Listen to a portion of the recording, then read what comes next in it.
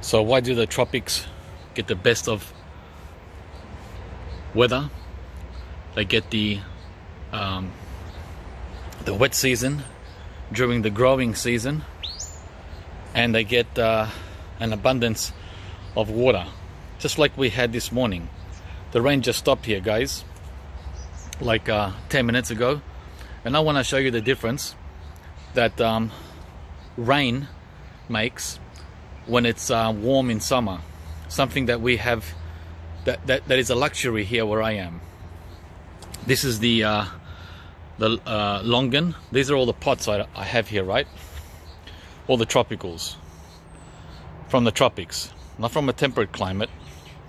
Now look how they reacted to the rain we had overnight. And by the way, we got 60 millimeters of rain. That's three inches in only what six hours.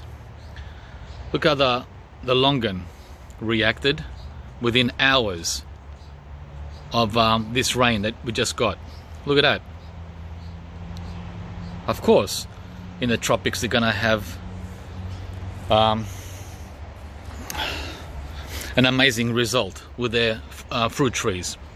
This is the um, the canistel or the uh, yellow sapote. Look how it looks. It's not going to look like that here in, in Melbourne where I am during winter time. So a combination of wet and steamy humidity is what these plants want. There's the um, custard apple. Suriname cherry, R2E2 grafted mango. Ignore all that. That's what happens to sensitive lilies when it's hot. They don't like the hot. They like the cold. So in summer they collapse and in winter they they stand up. Yep. So the only way around this is to create a um, a shade, a shade cloth. But I'm not going to go to that trouble. I just let them work themselves out. Um, here's a mango, the um, the Quan variety, wanting to fruit. Check out all the fruit. All these uh, tropicals I'm showing you are in pots. Check it out. Check it out with uh, the rain we had. Then the uh, Rollinia, Brazilian custard apple. I just woke up like an hour ago. It's uh, 9 o'clock in the morning.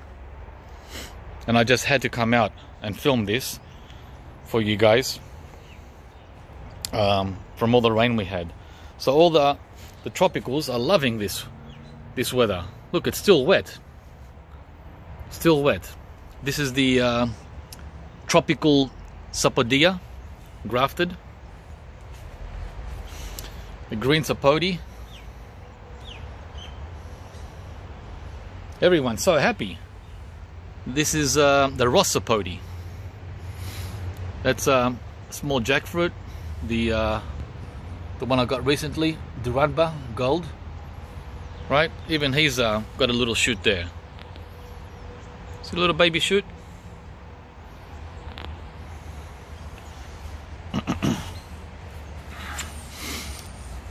this is the uh, Sawo Manila Sapodilla. Yep, with its uh, little flower buds. This one's actually an actual flower ready to open. Barbados cherry sending out a lot of new growth all the way down. Mamey sapote Nagasaki Wase grafted dwarf loquat. That's a mouthful, isn't it? Sugar apple. Right. A couple of lychees here. Waichi and uh, Salathiel. And the big boy, jackfruit, Kyogle Gold. I uh, put it into a larger pot a few days ago. And I fed all these also yesterday, knowing that it would um, rain. I gave them all the dynamic lift I mix with mineral dust and um, um, potassium. All of them got fed. And now all of them got watered. Of course they're going to do great with these conditions. But these conditions, guys, we only have them for three months of the year. It's not like Florida, where they have it for 11 months of the year. They only get one month of winter there. One month of winter. Um, try six months of winter. And then let's see how these trees do. Well, that's exactly what I have to put up with. I have to protect these trees for six months of the year in a greenhouse or inside the house. Yep, in my bathroom, in my bedroom, in my kitchen. We don't get one month of winter. Uh, one month of winter. It would be great if we had one month of winter. Oh my gosh! Anyway, guys. So that's what perfect conditions do for tropical fruit trees. You can see it with your own eyes.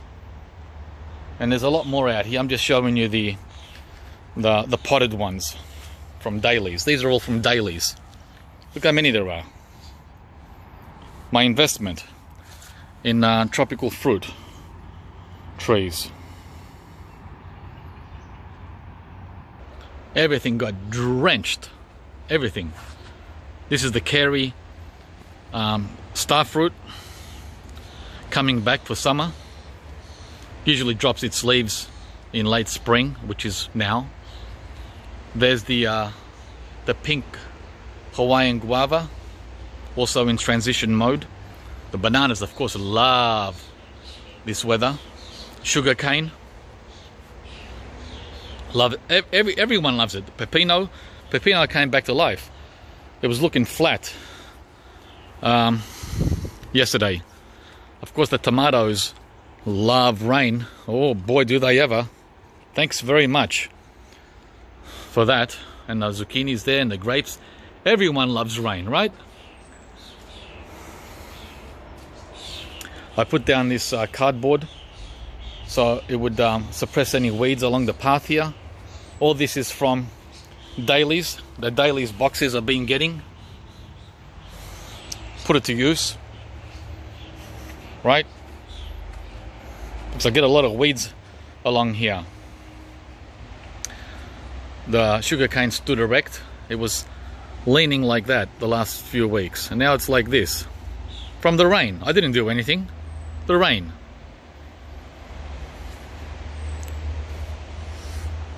Jackfruit. Four jackfruits that I planted um, early October. Right. I mounted them yesterday with uh, mulch, knowing full well what was coming. Look how I mounted them. These are all cuttings from the fig tree that were sticking out all different sides. I cut them, cut, cut, cut, and brought them here to the jackfruit. It's had a lot of damage from uh, earwigs and bugs. Hopefully it'll come back with this rain. The ginger over there, Myoga ginger, loving it. Of course it's loving it. Another jackfruit there. Another jack jackfruit there. That one's doing the best, I think. Um, wax jambu. I gave these guys a lot of um, mulch yesterday too. And I got some stacked here to give them over time. I did a full raking of the garden.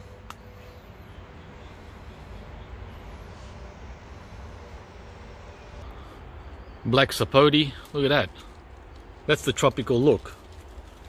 You see, we get we get our rainfall in winter, not in summer. That's the problem. We get it at the wrong time of the year. In the tropics, they get their rain during the growing season. And you saw what happens. This is more sugarcane here, right? Sugarcane doesn't want rain in winter. It wants it now in summer. Guys, yeah, the wet season here in Melbourne, that's a Davidson's plum. The wet season here in Melbourne is in winter, when it's cold. Wrong time of the year. In-ground Rollinia that I planted last year is coming back. See it? So I'm pretty happy with that. Can't get the focus to work though, but it's coming back. Yeah, so wrong time of the year for for rain. Yeah, it's, when it's freezing cold, it rains every day. Every day it rains in winter when it's cold. You know those cold six months? That's when it rains here. And the six months when it's warm, it rains sp um, sporadically, like today. Here and there, every week or two. When we need it. When we need the rain, it doesn't rain. And when we don't want the rain, it rains a lot. Perfect for wet feet, right? And that's exactly how I've lost my mangoes. To wet feet. All that rain in winter when we don't want it. When the mangoes don't want it. So, let's, uh, there's the um, Picatinny. Let's see how much water is in here. Oh yeah. Oh yeah, of course. There's going to be water in there from all that rain we got. 60 millimeters. Downtown Melbourne got 30. And out here I am in the suburbs, southeast. We got an extra 30. So that's 60. We got 60 mils, guys. Squish squash. Squish squash everywhere I walk. The Kohala Longan woke up finally. Finally woke up. Very, very slow very slow grower this variety for me anyway. Very very slow.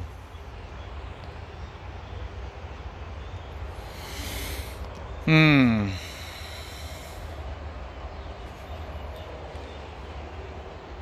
Citrus.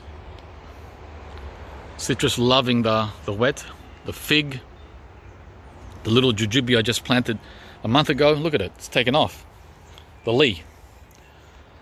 The um, ice cream bean uh, seedlings that I put out a couple of days ago, profiting from the rain we just had. Watch them take off now. Watch these guys take off. I gave them a beautiful mix of um, compost and um, potting mix over there too. So yeah, everyone's happy. Everyone's happy with uh, the rain guys. The key word is rain. At the right time not rain anytime. The right time. The right time's now. The growing season. Not winter. Rain in winter is a death spell on um, tropical fruit trees. It's a death spell or a death sentence. Well welcome to my climate I'm just informing the rest of the world uh, what it's like here, where I am, because not many people know. Some people don't have never even heard of Melbourne, which is um, shocking. Never heard of it. It's like me saying I've never heard of Miami. Wouldn't that shock you? Wouldn't you fall off your chair? Well, that's how shocking it is to me when you say you've never heard of Melbourne, Australia, not Melbourne, Florida. All right, guys. And the reason I say that is Melbourne is twice the size of Miami. It's two Miamis where I live. Not one, but two. Five million people surround me here in this garden. Five million, not one million or two million. Look how yellow the leaves got on the banana because of no rain. We hadn't had rain for 10 days. See that? Watch them take off now. Watch the bananas take off now. Same with the ornamental ginger, look, yellow. We don't get rain during the growing season. And when we do, hallelujah. That's why I made this video today. It's a hallelujah event. Looks like the first mangoes are setting on the um, Glenn. I wonder which ones will stay and how many we're going to end up getting. So it's that time, guys. It's that time for the mangoes to set. We'll see. We'll see what we get.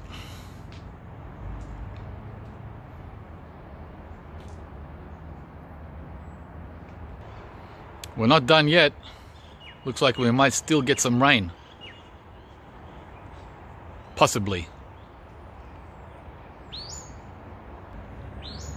Meanwhile, I'm just loving, I'm just absorbing, taking it all in. What the rain has done in the garden. It's the, it's the highlight of um, gardening for me, other than picking fruit, of course. But um, seeing this um, from the rain is like, how shall I say it in a clean way? Hmm. climatic. There you go. It's a climatic um, experience. Yeah, I just wish we get more rain over summer. That's what we need. But we rarely ever get it.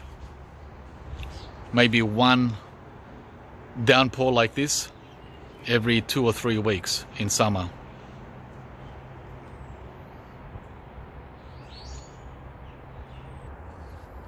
You know what I'm talking about, guys. You know how exciting it is when you see um, your tropical trees getting watered. Rainwater, not, not tap water. This rainwater contains minerals that are not in tap water. Tap water is dead water. It's just to keep the plants alive. It's survival water. Whereas rain is thriving water for the plants to thrive. Big difference to tap water. We don't want the plants just to survive. We want them to jump and thrive, just like they do in the tropics.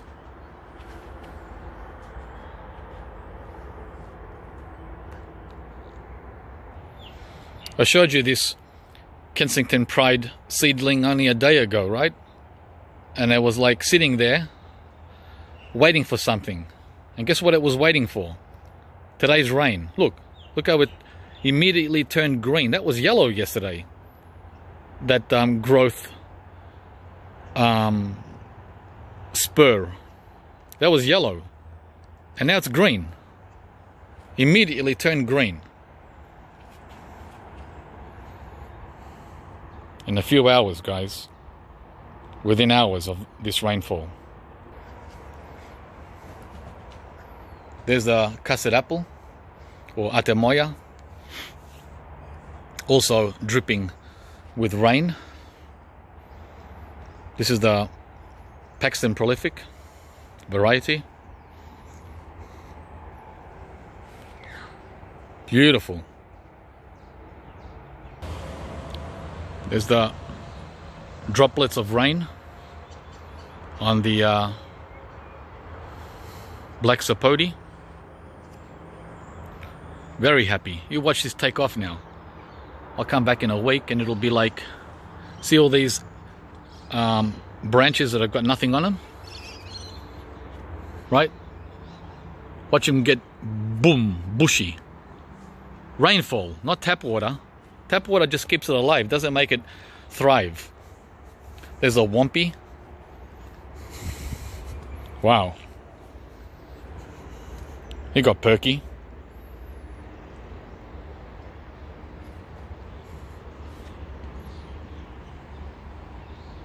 And so you should. Six hours of non-stop rain. And it was light rain. Flutter like that. Not boom, boom, boom, boom. Wasn't like that. It was fanned, like fanned rain. It's what you want. The three latest trees I planted um, last week, I'm sure they appreciated the rain. Oh boy, did they ever. And I'm so glad I fed them yesterday there's a couple of um, now this is what I was trying to tell you guys. Where are the birds? Where are the birds? Look what the birds are doing. Or have done. My nectarine tree. Right? Look I haven't put the net on yet. I'm gonna have to do that later today or tomorrow. They just tested. Just testing. This one seems ready. Hang on. Mmm. Okay. it's ready. That's why they knocked it off. Okay. The first stone fruit's ready. How do I know that? The birds. That's how I know. Thanks, birds. Thank you for letting me know. Thanks for letting me know that the nectarines are ready. I can always rely on you.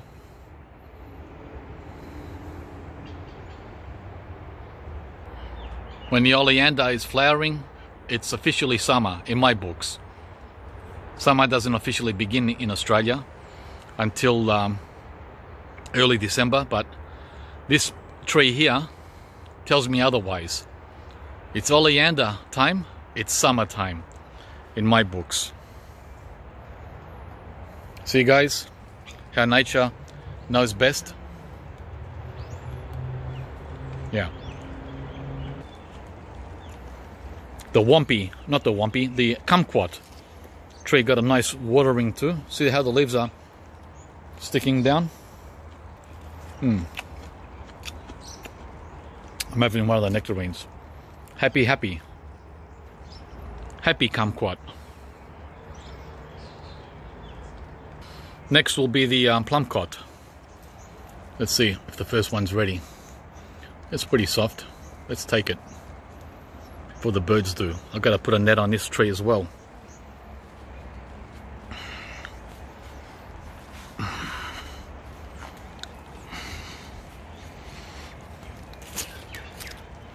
All right, let's taste it.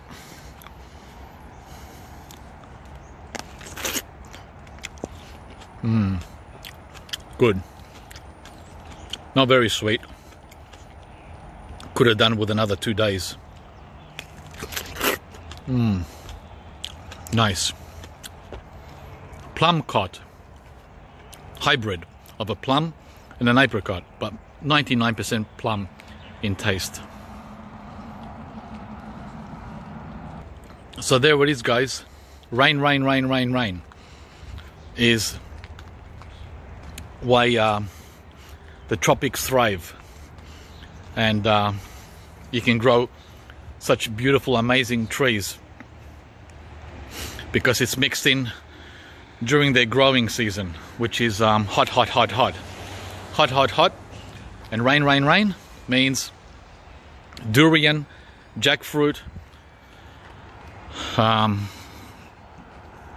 all the things that I'm jealous of that I can't grow here. Mangosteen, and on and on, right? So, that was today's video. I hope you enjoyed it. I'm wrapped that we're getting all this rain. And um, I hope you enjoyed it. Please like, share, and subscribe, guys, if you haven't subscribed to the channel yet. We'll see you from the next video.